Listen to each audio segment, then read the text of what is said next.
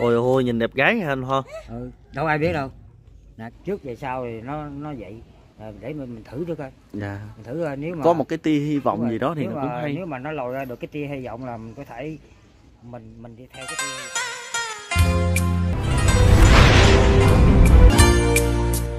hôm nay thì Bùi Hồ quay trở lại cái uh, huyện Cần Duộc của tỉnh Long An để tìm quay lại cái ngôi nhà cổ này cũng như là quay không có ba mẹ của bé đó coi cái giọng cười của bé như thế nào nha cô bác quý anh chị. Tại vì rất là nhiều người này thì nói cái giọng cười của em rất là ma mị mà theo một chia sẻ mà mình biết á là bé thì rất sợ ba của mình. Có ba thì bé ờ, em sẽ không có làm gì hết á nhưng mà không không có e, ba thì em cứ sống hoang dại như vậy à, à khóa cửa rồi mọi người bây giờ mình sẽ quay lén lút nha. Lát nữa mình sẽ quay cái ngôi nhà cổ này cho cô bác của anh chị xem. nè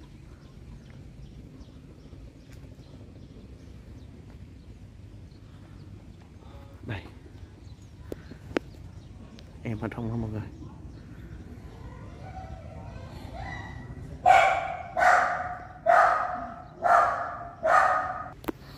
Đây mình sẽ đi bọc theo cái ngôi nhà cổ này. Theo thông tin tìm được thì cái ngôi nhà này là của Nguyễn Khắc Cần. Ông là ngày xưa ông rất là giàu. Này, đây nè ở trên này có một cái tầng biệt thự. Cái tầng những cái tầng ở trên này rất là cao. Và bé thì ở trong khi mà không có ba mẹ thì à, bé Hường bị nhốt như thế này nè mọi người. Đó. Đó. Không biết cô bác của anh chị có thể thấy được không à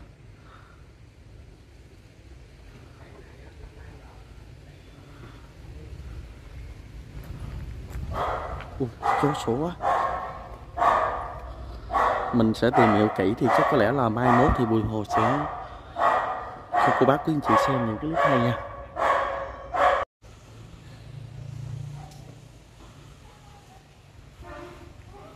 Nó ra nhiều khi nước lớn nè lớn ra nó té ít khi nào nó la lắm có trời ơi.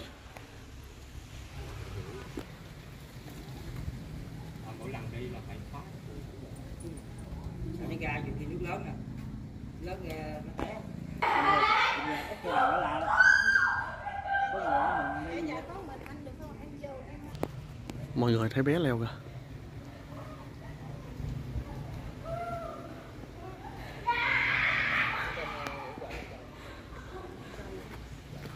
Ui, ghê quá.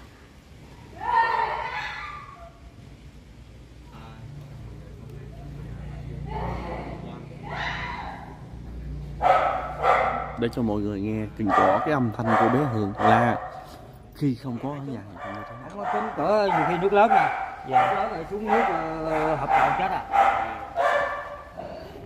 Rồi anh đứng ở đây đi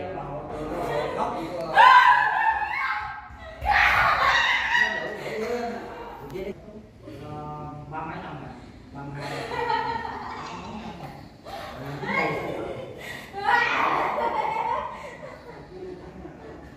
Lúc trước là hai con ờ, chú đi về á, cháu có về con á, là hai con Khi con gặp ai rồi?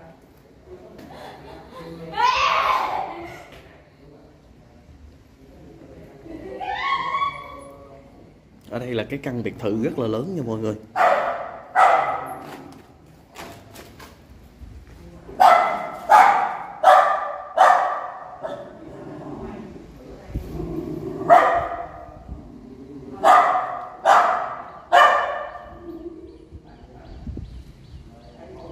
Ôi trời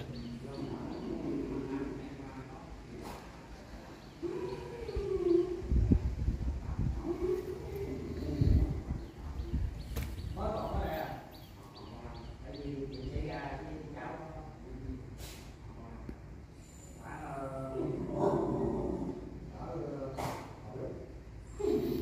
một số cô bác quý anh chị thì ờ, thấy bé rất là giống ca sĩ và gương mặt rất là xinh gái.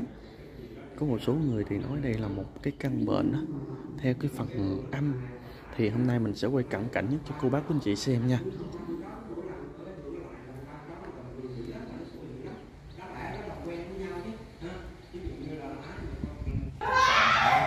Chó khi mình bên nhà khi bên đi sủa mình, mình hay có đi vô đó nó nó vậy mới mới mới để chó này Cái chuyện mà chị bị xâm hại như vậy là đã xảy ra lâu chưa? Xảy ra rồi. Xong rồi cái chuyện kia. Đầu thôi. Là cứ như là mỗi ở 9 giờ này chú đem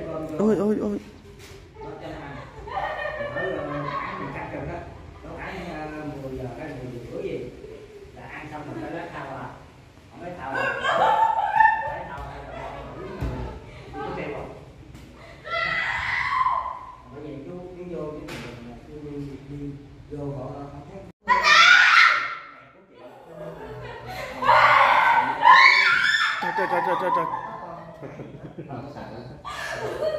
Sao làm cái gì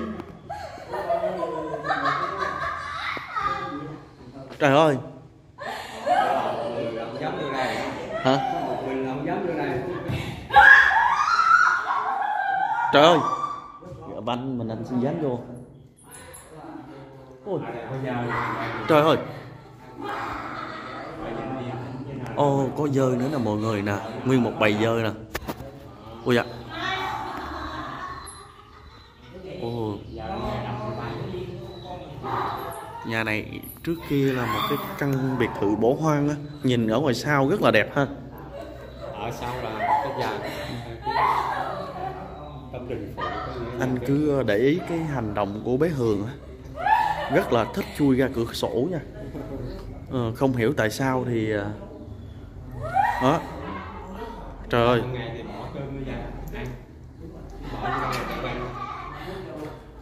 Bây giờ chắc có lẽ là lại gần tới coi xem sao Hân ơi. Hân. Hân. Hân ơi. Hân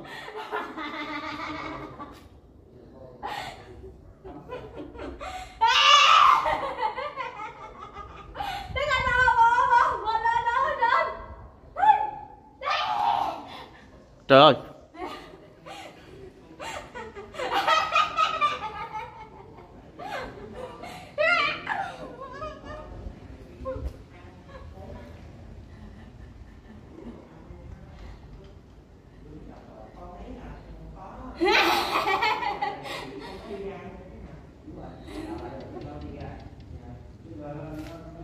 Ở ngoài sau này có khuôn viên đất của ờ, biệt thự này luôn đó anh ha tất cả cái công viên là cái à, vụ này hết nhưng mà bị dỡ bỏ rồi có nghĩa là phần đây là phần sau là nhà sau ừ. đây là nhà trước À, đây là cái phần ngoài nhà sau á đúng không? Còn đây ngoài đây là sảnh ngoài trước.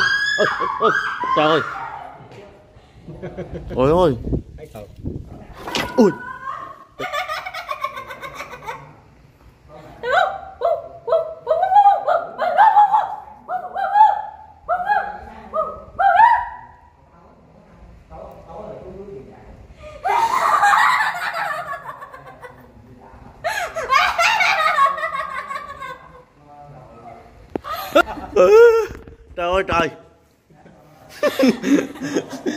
Em đừng làm. Ôi trời ơi. ở mình ra ai dám vô Ôi.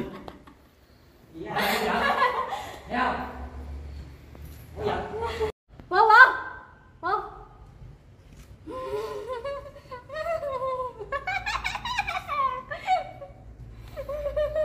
có một cái đoạn clip như thế này nè nhân Ờ, trước đây thì anh quay bé thì ờ, nghe anh anh châu nói á là bé bị câm từ nhỏ đó. Nhưng mà em quay thì có một khán giả nói là nghe tiếng bé kêu bé nói chuyện ở trong cái đoạn clip của em á. Ờ, kêu tên rõ ràng luôn. Có có. Ừ. kêu kêu kêu kêu, mình đâu có định hướng được. Ồ. ví dụ em ví dụ em em em tên tuấn đi thấy không? Ừ. kêu đâu đúng rồi nhiều khi ở ở nhiều khi đánh nhiều khi được chữ nhiều khi không được chữ À, à, nó, nó, nó đâu phải là rõ ràng như mình đâu dạ. nhiều khi mình nhiều khi mình không hiểu mình tưởng đâu ừ nó nó biết nói thật tình là không biết nói Không. Không, không, không, không. Không, không. đó mà wow wow wow wow vậy đó à, ừ. nhiều khi ừ, nói cái chuyện khác nhiều khi người ta tưởng đâu biết nói rốt cuộc đâu biết nói trực tiếp ờ, thẳng, thẳng là biết liền à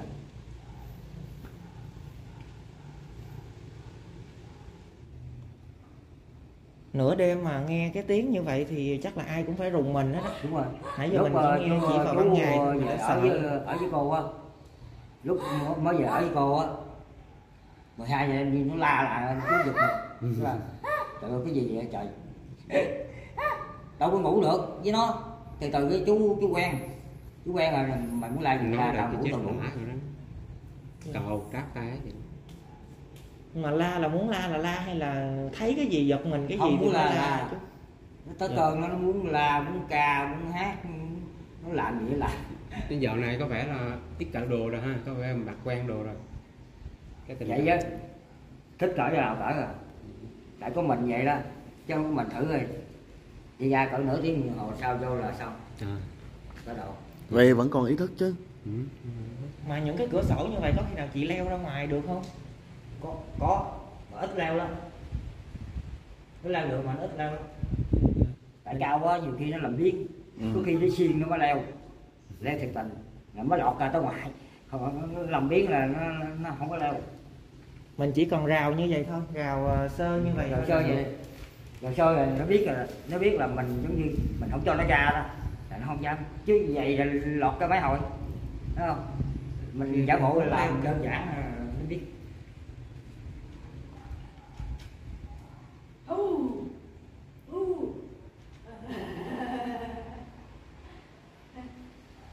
tối ngày ở ngay chân mình dạ. Cái giọng cười như là không phải của chị vậy đó. Ừ.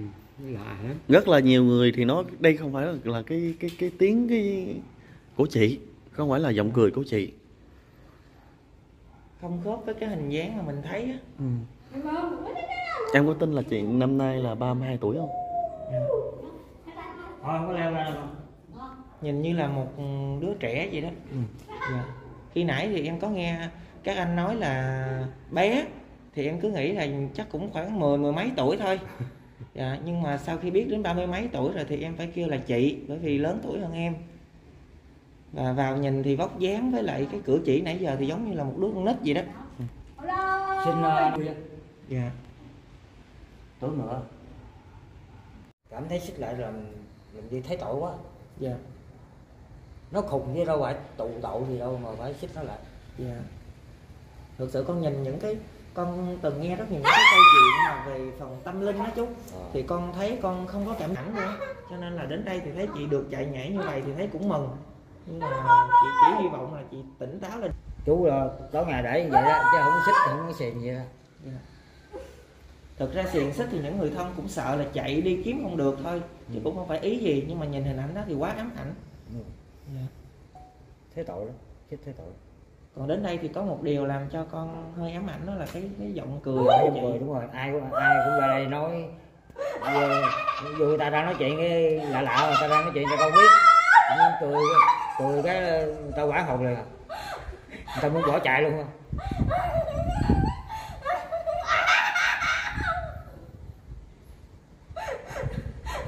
cái máy đây em lại đây nó vui á. Vui nó giận dữ á. Chứ không thôi bình thường là vô. là giỡn. Vô im không thắt dạ là có người vui bữa giỡn đúng không? nào bữa nào thử em vô rồi em im im em đừng có nói chuyện được cho hay. Im gà Chị- chị leo, leo luôn được im gà nó đâu có giận hết vậy. À. làm gì để đánh giá được đánh giá được rồi giống như có người vô chơi với nó hay gì không? Nó vui. Ừ, vui. có khi la cũng là một cái gọi là vui quá la vậy thôi, chạy la vậy Đúng rồi, chứ rồi. không phải là Đúng rồi. ở bên đây con thấy chú mua người thân của chị là được mạnh khỏe đưa đưa tiền cho à, đưa trời ơi cũng như chị vậy đó có biết tiền chưa biết tiền sao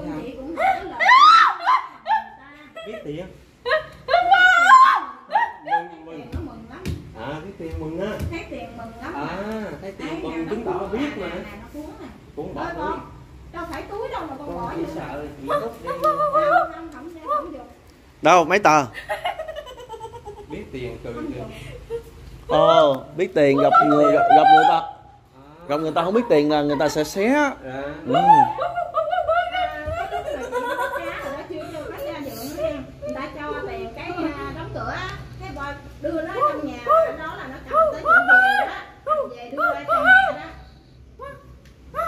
Con nó làm nhẹ chút xíu cũng đưa cho mẹ à? À dạ hả? Đưa cho mẹ đây đưa cho mẹ đi ở giờ hả?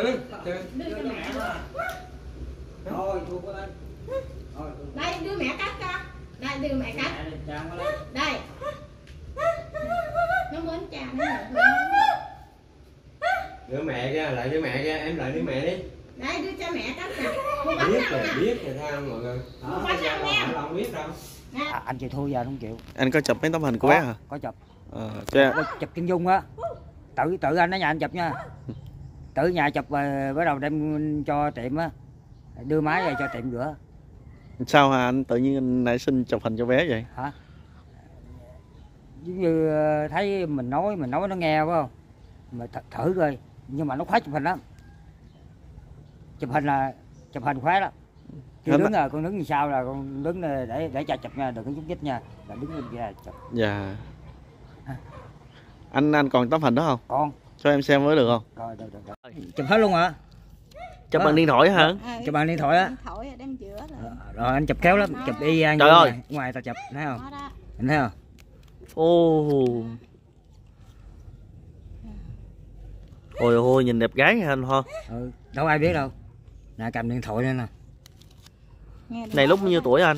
Thì đó mới chụp mới đây nè. Mới mới chụp đây thôi hả? Ừ, mới chụp ở đây mấy nè mấy tháng này mấy mấy anh mấy em xuống đó bỏ đây hả? Trời ơi mày lấy bịch. Bà của ổng mày bỏ chút lấy bịch khác đây một rồi. kiến này. Nè ừ.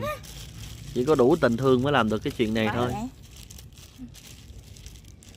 không? Thấy anh chụp ở nhà anh chụp khéo ghê không? Hay quá. Có đầy đủ nè. Trời. đi, đi bắt cá nữa. Anh Đó, anh đó cho nó diễn xuất đi bắt cá luôn hả? mới nghỉ à, nay nửa tháng nè. Đồ của chị bắt cá được luôn hả đâu đồ đâu ờ, có. chị đi bắt đồ đồ chị đi bắt á. Rồi anh lấy anh lấy anh anh dựng ra anh dựng ra cái đó. Đó. Ồ. Toàn bộ là anh chụp không á? Ngày á, chị bắt có được không chị có. Hả? hồi xưa thì bắt ngày trăm mấy hai trăm mà giờ cây cối gì bít bù đâu có đi bắt nữa ta Hay quá. đó em quay tấm nào em quay đi. Ừ. hồi nãy em thấy cái tấm này đẹp kìa tấm nào đâu rồi? nào? có một cái tấm chụp dễ thương cái lắm tấm kia tấm cuối đó chị nó mới đẹp ừ. tấm nào anh? Ở dưới ta dưới. Ở dưới nè. À, dưới này nè. Dưới nè. Cái tấm đầu à tấm này nè. Với lại tấm này nè nhìn đẹp ghê ha. Trời ơi chụp hình nè thấy không? Em, em đâu có biết là nó nó bị vậy à mấy cho chụp hết luôn.